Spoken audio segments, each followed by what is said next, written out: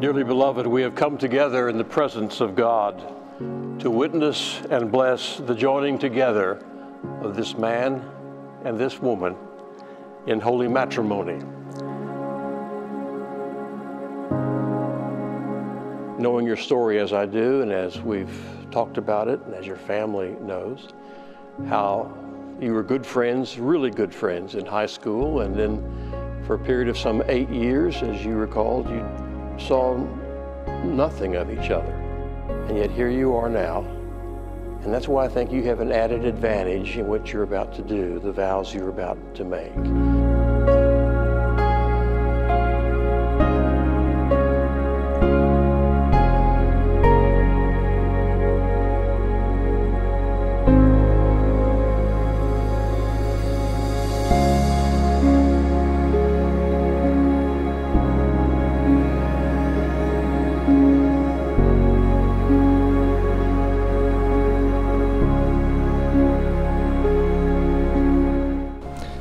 Name of God,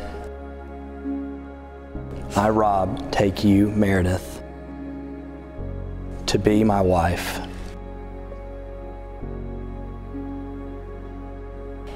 In the name of God, I, Meredith, take you, Rob, to be my husband, to have and to hold. From this day forward, for better or worse, for richer, for poorer.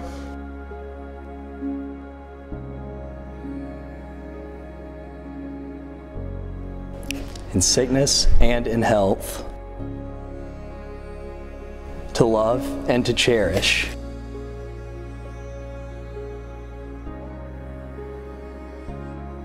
Until we are parted by death. This is my solemn vow. Until we are parted by death. And this is my solemn vow.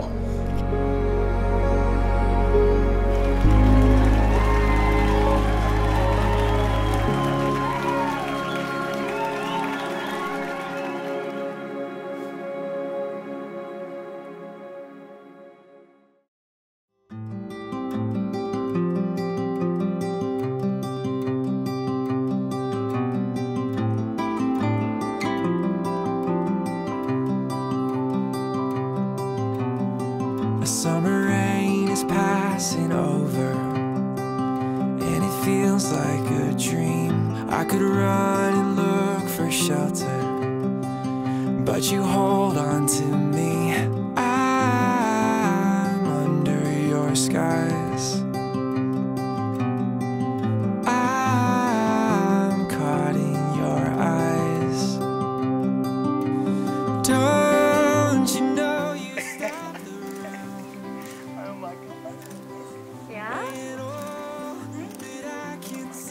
Yeah, what do you think?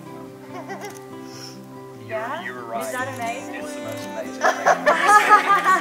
it's the most. twice.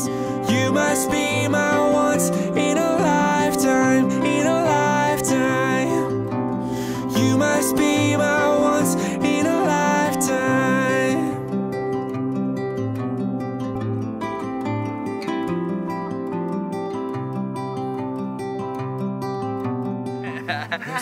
Very brave. It says, "We're getting married." Dot dot dot.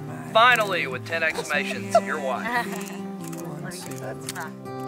Cause the answer is yes. I'll spend my whole life just being caught up in your eyes. Oh.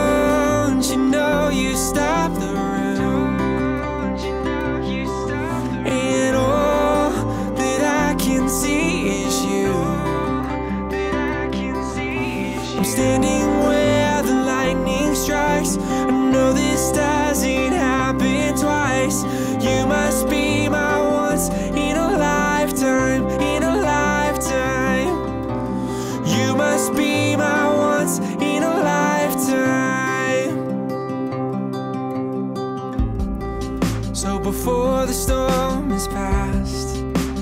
I just wanna ask, can we make this moment last? So before the storm is past, I just wanna ask, can we make this moment last? Moment last.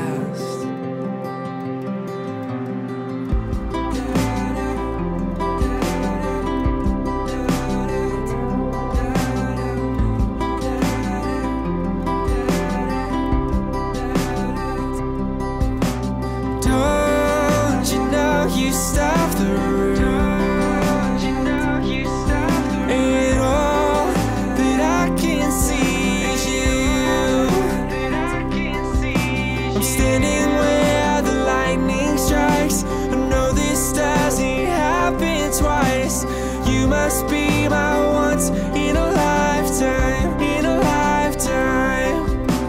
You must be my once in a lifetime.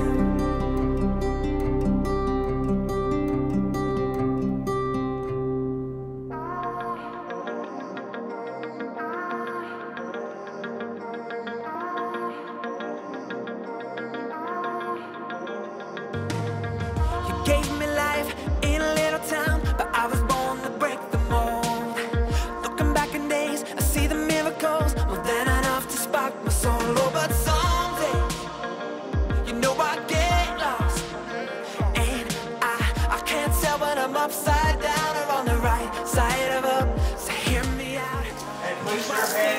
brother from Mr. and Mrs. Brian.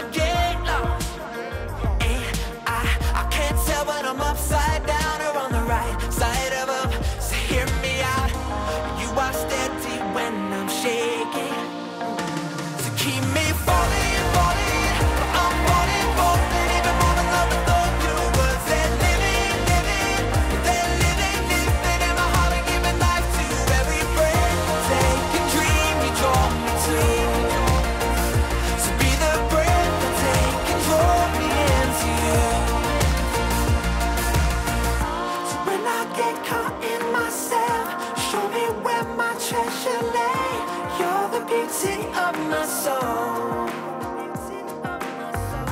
If I'm just living for myself, show me where my treasure lay. You're the reason for my soul.